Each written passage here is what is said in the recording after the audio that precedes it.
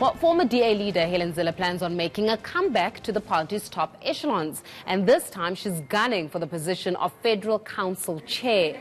Zille took to social media to announce that she would be applying for the job. So staying with the party news, the latest column by DA's former chief whip, Douglas Gibson, looks at the country's top leaders' children and their powerful business relationships from former President Jacob Zuma's son and his connections to state capture to President Cyril Ramaphosa's son's links to Bosasa Gibson's article titled Politicians' Talented Children and Those Multi-Million Rand Contracts also discusses DA leader Mmusi Maimane as well as Steinhoff. Gibson joins me now in studio for this conversation. Douglas, thanks a lot for joining us this afternoon. One may say there's never a dull moment in the Democratic Alliance.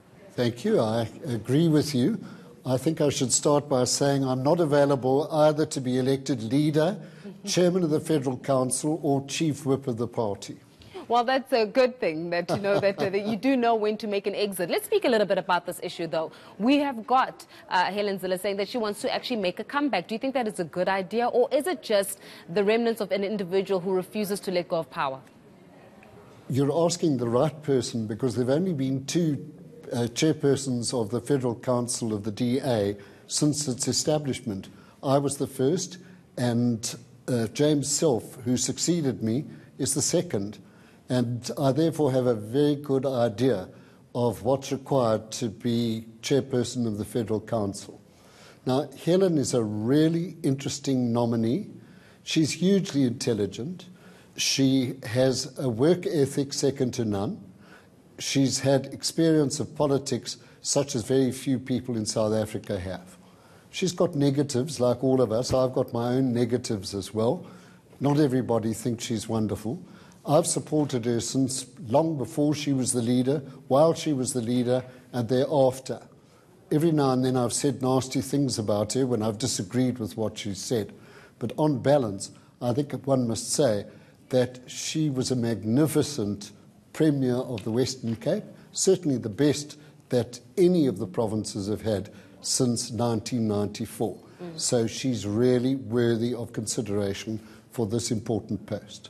You know why I ask here, Douglas? It's simply because she's also, as you said, she's got a very, a bit of a volatile relationship or controversial relationship with her very own party. I mean, obviously following the suspension, and then also not uh, being prevented from making strategic decisions within the structures of the Democratic Alliance. This says something. So from there on, having that experience that even where the party does not necessarily want you to be part of decision making, to now coming back and wanting to be federal chair of the council in itself.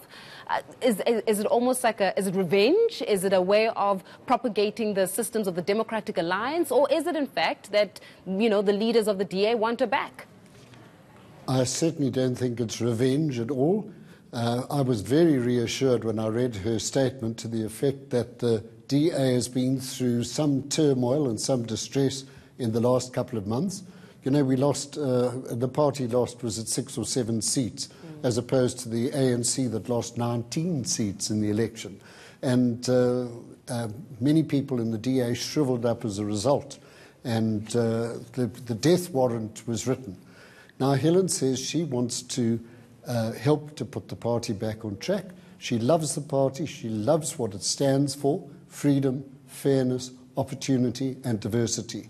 And yeah. those are certainly the things that I stand for, and really I believe that the overwhelming number of people who support the party also stand for. Interesting choice of words to say she wants to put the party back on track because that would then suggest that the current leader of the Democratic Alliance, Mmusi Maimane, is maybe incapable or is failing at having the party back on track. No, I don't think it, uh, it necessarily implies that at all. Uh, she wants to help change the uh, current image of the party and, and put it back on the winning track. Mm. You know, for very many years, at every election, we won additional seats, mm. and there's no reason why we shouldn't get back to that winning track. Mm. And if, I think that's what she's actually saying. I certainly hope that that's what she's saying. Well, if it is putting the, the political party, again, if it is putting the political party back on the winning track, does that mean that as the Democratic, uh, Democratic Alliance leader, Mmusi Maimane, is not necessarily delivering um, on his promises to actually take the DA to that next level of win that you have to even call back an individual such as Helen Zille to come in and maybe clean up the mess? Well, I'm not sure that there's uh, a mess to be cleaned up.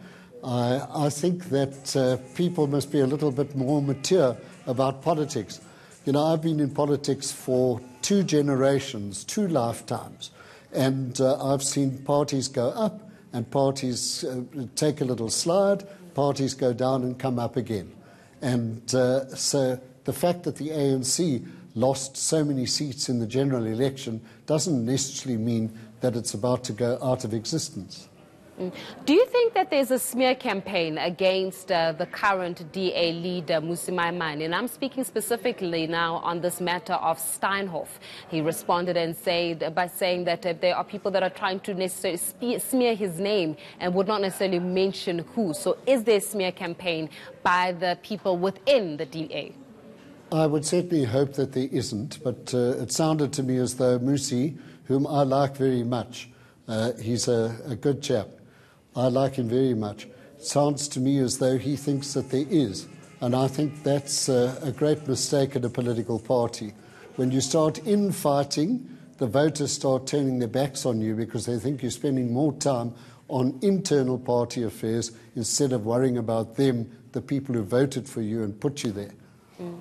We're going to leave it there for this afternoon, but thanks for joining us uh, there. Douglas Gibson, who is the former chief whip of the Democratic Alliance.